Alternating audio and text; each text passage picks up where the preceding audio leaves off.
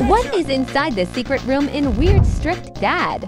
Normally, you wouldn't be able to access this room because, well, it's locked. But with a little magic, you can glitch outside the house and peek through the windows. There's blood everywhere. Here lies the possessed Father Xenobus. We always love our dad, but he's not our dad anymore. So this answers the question.